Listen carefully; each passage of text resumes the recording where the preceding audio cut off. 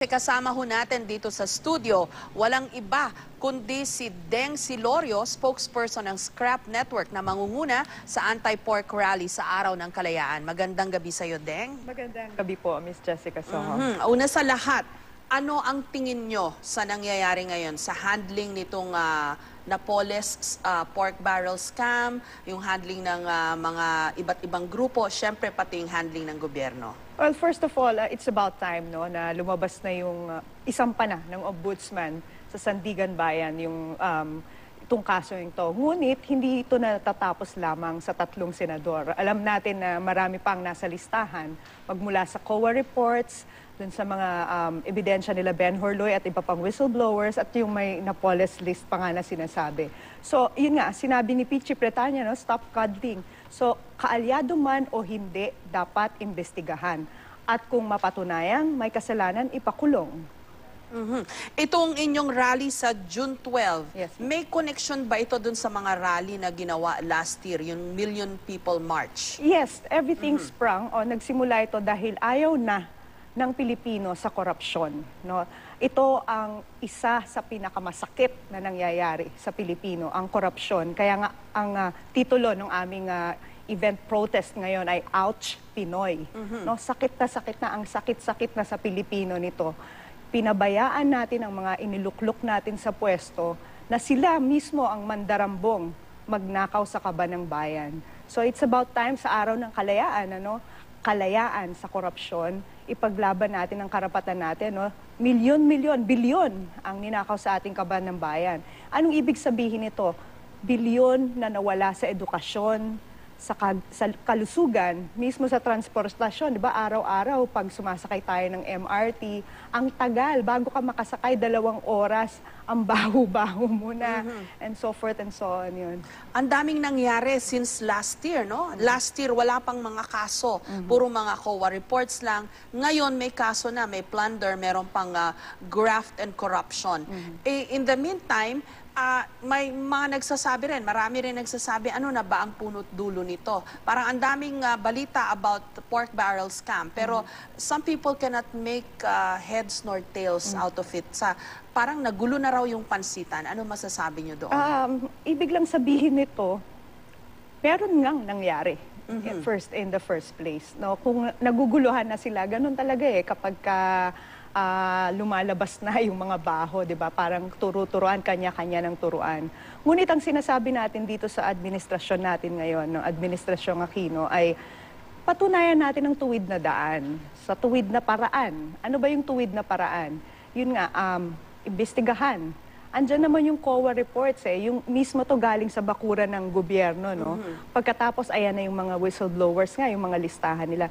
Napakaraming ebidensya, napakara kailangan tutukan um, itong mga ebidensya na to, pag-aralang mabuti, pati yung mga ibinigay na listahan ni ah, Napoles, ah, masusing pag-aaral, wag lang basta nila tanggapin yung listahan na to, no?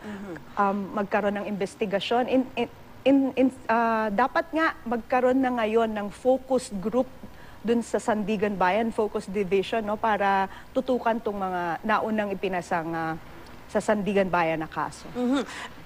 The last time, last count ko nito, parang may tatlong listahan kasi sinabi ni uh, Senator Lacson pareho lang daw yung listahan niya at ni Secretary De Lima. So that's one. And then there's the listahan ni Napoles mismo and then yung listahan ni uh, Ben Hurloy. So tatlo, tatlong listahan all in all. I think yung confusion is coming from the fact na bakit tatlo-tatlo na yung Napoles na yan? How do you propose should ordinary people, no, yung mga tao sa kalye, ano ang dapat tamang pananaw dito sa nagkaroon na ng tatlo-tatlong listahan? I think there's no confusion. Walang confusion kung hindi simulan natin dun sa listahan, yung COA reports, Commission on Audit Reports. Okay. These are reports that have been investigated by their by our own um, people in government, no. Tapos yung mga ah, meron yan mga saro, 'di ba? Yung mga kung ano-anong mga dokumento. And then if this list ay bumangga dun sa mga listahan ng nasa COA reports vis-a-vis yung kay Ben Hur at saka yung kay Napoles. At merong mga datos na hindi pala nag-e-exist tong mga proyektong ito. Aba, eh, napakadali naman. No? Eh, I mean, you can, head, you can actually make heads and tails out of it. If the project does not exist, saan napunta ang pera? Mhm. Ang other side naman nito, may mga nagsasabi rin, hindi na nga dapat tinatanong kung sino ang nasa listahan. Ang tinatanong na lang ngayon kung sino ang wala sa listahan. listahan. ang implication niyan eh, meron pa bang politiko tayo? Meron pa bang mga ibang ah, tao sa legislatura or even the executive or the judiciary for that matter nakapanipaniwala? That is uh, what uh, our um, justice system has to find out. If there are still people in government that is going to remain. Y- Yes. Okay. So as of now, you have your full uh, faith and trust in our uh, judicial system Yes. sa uh, kasong ito. Yes, they, I, I think the, from the beginning, um, sobrang dami ng datos eh, sobrang dami ng mga, ng mga papel, no? I think that is what we, we're still here for, no? The people who's going to protest on um, June 12 believes that we have faith in our justice system. We should keep on reminding them that this is their, um, this is their duty, no? As public servants, no? iniluklok natin sila sa gobyerno. Tayo, mga bumoto sa kanila, iniluklok natin sila. Therefore, they have the power to actually um, uh, to enforce these laws that they have actually um, uh, is- isinabatas nila. No? Ibalik ko lang dun sa pinunto ni uh, Pinky kanina. Sabi niya, stop Peachy. coddling. I'm sorry, Peachy. Stop coddling. Can you elaborate on that? Ang sinasabi lamang natin dito ay uh, wag lamang dun sa mga hindi kaalyado. Everybody in gov- in everybody whether ito ba ay kaalyado o hindi ng administrasyong Aquino, ng liberal o ng oposisyon, lahat dapat iniimbestigahan. Yun lamang ang sinasabi ng stop coddling. Meron na kasing dinipensahan si Pangulong Aquino ng mga cabinet officials niya ah, na nabanggit pero sabi niya wala namang daw ebidensya. Anong reaction niyo doon? Nasimula na ba ang pag-iimbestiga? Siya ba mismo ang nag-imbestiga nito? Kailangan idaan natin sa proseso. No? Ah, let the process, you know, uh, uh, due process uh, go as, as it is supposed to be. So ang sinasabi natin dito, wag muna niyang sabihin na wala, na, na lilinisan niya agad yung bakuran niya. No? Kailangan paimbestigahan niya. Tingnan niya yung COA reports, tingnan niya yung listahan, o paulit-ulit naman namin itong sinasabi. Huwag mo munang sabihin na malinis hanggat hindi mo pa binibigyan ng go signal na imbestigahan from left to right. I was there sa Luneta last year during the Million People March. Nag-cover ako doon. Impressive yung attendance, pero parang hindi yata naabot yung 1 million na goal. Ah, ito ba this time sa June 12, meron din ba kayong ah, target crowd Ah. na bilang? Wala, wala naman. Wala naman tayong ah, sinasabing ah, bilang no, na, napupunta doon. Ngunit ah, marami ang pupunta. At nga- ngayon nga, hinihikayat natin lahat na hindi ito laban lamang ng iilan. Ito ay laban nating lahat. Ito ay pera nating lahat, pera ng kaba ng, ng bayan. So, so ako, tinatanong nila, bakit ka ba lalabas ding? Ikaw eh, meron kang anak, meron kang trabaho. Dapat nasa bahay ka na lang. Pero pag tinatanong nila, bakit ka ba lalabas? Lagi namin tinatanong yan, tanungin mo sa sarili mo, bakit mo kailangang lumabas sa araw ng kalayaan? Ako takot ako. Lalabas ako kasi natatakot ako. Sabi na, eh natatakot ka pala, eh, ba't ka lalabas? Natatakot ako sa magiging kahihinatnan ng mas malawakang pandarambong at pagnanakaw sa kaba ng bayan kung hindi ako lalabas. Yun ang para sa akin. Okay, but beyond itong ah, panawagan ninyo for people to go to the rally, meron ba kayong specific action plan? Kasi, well, in the overall scheme of things, parang ah, this is, well, it's an expression, Yes. ah, ah, yung, yung ah, crowd itself could be a statement or, you know, ordinary people showing up na nandun, nagpapahayag, that's already a statement in itself. Pero overall, ah, wala ba kayong iba pang plano to effect uh, more pressure, to exert more pressure tungkol sa kasong mga ito? As number one, yung, yung ginawa nilang un- unconstitutional yung PDAF tapos na yun, di ba? Mm-hmm. Pero yung DAP, hindi pa lumalabas yung ruling sa Supreme Court. So kailangan i-pressure din namin yon no?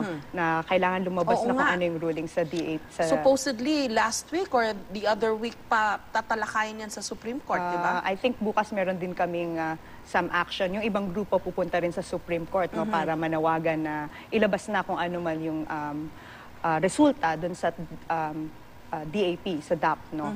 Pagkatapos, yun nga, tuloy-tuloy na kailangan i-pressure namin yung ah, pag-iimbestiga sa iba pa, hindi lamang dito sa tatlong senador na to at saka yung kanilang mga chief of staff. So hindi lang sa rally, meron talaga kayong ah, plan of action to follow up or follow through. Na hindi na supposedly dapat ginagawa ng taong bayan. Naalala ko nung ipinasa yung budget, na- nandun kayo eh, di ba? Kasi that was one of your ah, Yes. recommendations or one, somebody proposed na dapat merong representative yung ah, NGOs o yung mga im- interesadong tao dun sa budget deliberations. Pero medyo mabilisan yata yung ah, pagpasa ng budget na yon. Were you ah, happy with how it turned out? No, no, we are not happy with that. We think that there's still insertions that have been done. Yeah.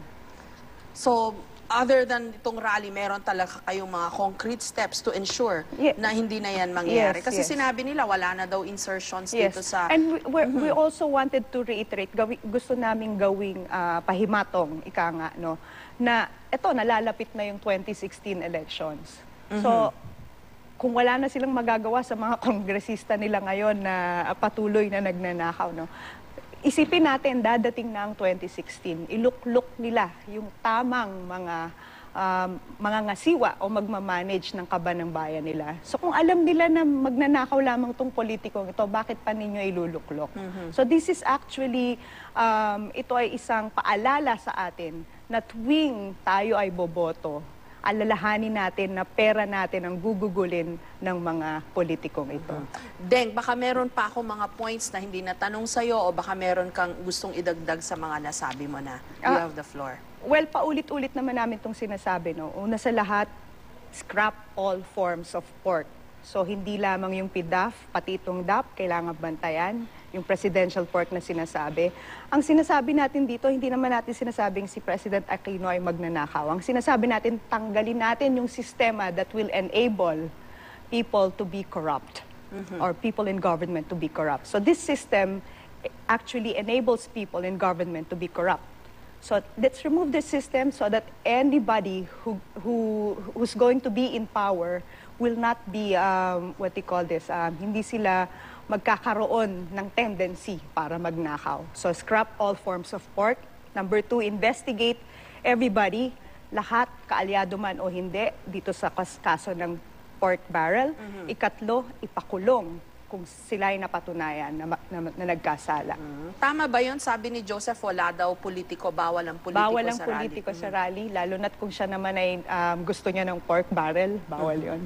Maraming salamat sa iyo, Thank Dean you very Sedorio much. ng ah, Scrap ah, Pork Barrel Movement at ah, dun sa kanilang ah, June 12 na ah, kilos protesta. Sa Luneta ulit, tama Hindi ba? po, sa Bonifacio Sa Shrine, Bonifacio's, Kartilya okay. ng Katipunan, ito yung katabi ng Manila City Hall, ma'am. Mhm. Maraming salamat sa iyo, Deng, at magandang Thank po. gabi. Thank you, magandang gabi.